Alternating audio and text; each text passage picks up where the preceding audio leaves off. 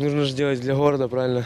Город все-таки наш, мы должны любить свой город. На благо города Запорожья. Да. Чтобы побольше было деревьев, побольше кислорода. Так, Мы будем каждое 24 числа приходить сюда, поливать водичкой нашу елочку посаженную. Да?